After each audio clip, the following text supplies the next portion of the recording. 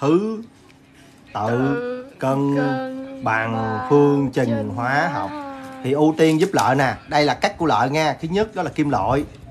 Sau đó tới gì? Tắt cái dùm lợi ơi phi kim rồi tới gì? Rồi tới hero rồi tới gì? Ô Oxy. còn nhiều giáo viên người ta sẽ cho cái cái nhóm trước. Biết nhóm không?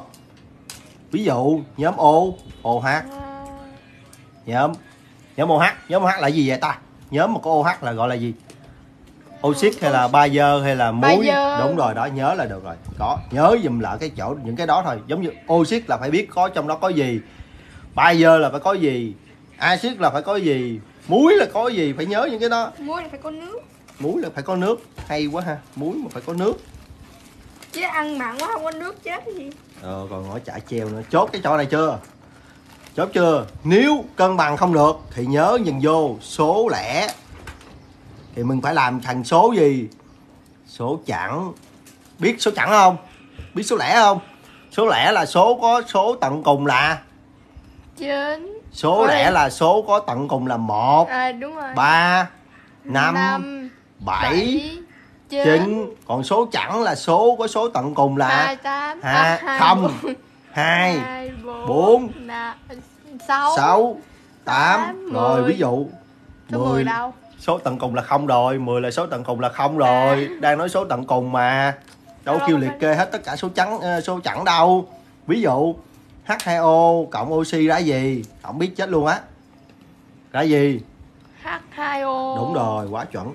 Tiếp Sao? cân bằng nè. Nhìn vô. Kim loại có không?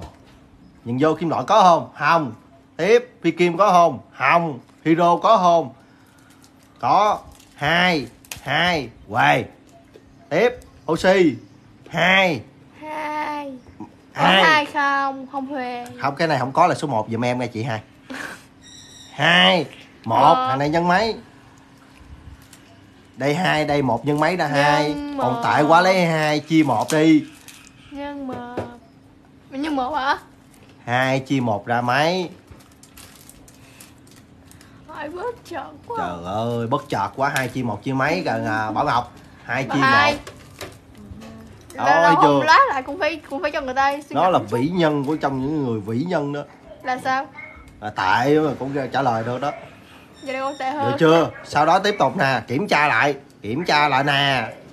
Khi cân bằng xong kiểm tra lại coi đúng hay sai nha đây mấy H2 còn đây mấy hết H. nhân 4 4 mà đây hai khiếu mấy không biết lấy 4 chia hai ra nhiêu hai. Hai bắt đầu kiểm tra oxy mấy 2 kiểm tra oxy bên đây. Nhớ nhân. 3 cái gì hai nhân một là ba gì lộn hai nhân 1 bằng 2 Thấy số. 3, tưởng số 3 kiểu này là chưa gần trai nhiều nó vậy á. Chốt chưa